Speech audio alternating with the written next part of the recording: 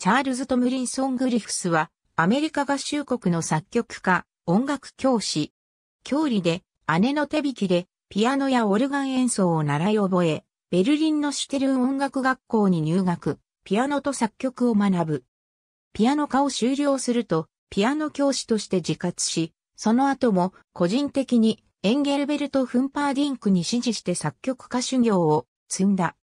1907年に帰国し、ニューヨークのタリータウンで教師として活動する傍ら、作曲活動を続けた。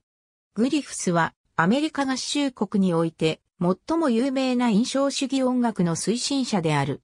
ヨーロッパ滞在中にドビュッシーの音楽を知り、フランス音楽の神秘的な響き愛国趣味に魅了されて大きく影響を受けていた。同時代のロシアの作曲家も研究しており、合成音階やバーバリズムを取り入れている。短い生涯と教育者としての職務を思えば、質、量ともに印象深い作品を残しており、その多くが今なお演奏されている。1919年に官房のために死亡し、ニュージャージー州エセックス郡のブルームフィールド墓地に埋葬された。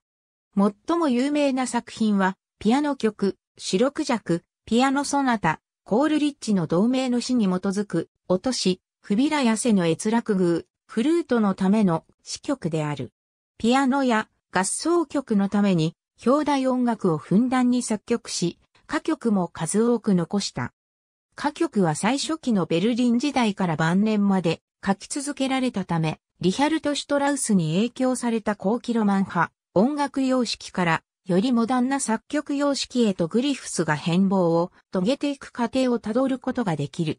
ホルストに日本組曲を作曲させた舞踊家の伊藤道郎と交流があり、その依頼で日本民謡をいくつか編曲している。渡米中の山田工作とも接触した可能性もある。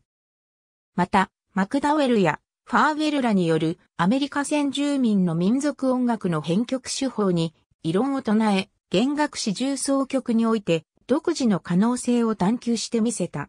グリフィスとも日本語表記される。アメリカでは楽譜やコンサートのプログラムにおいてもチャールズ・ティー・グリフィスと綴ることがある。ありがとうございます。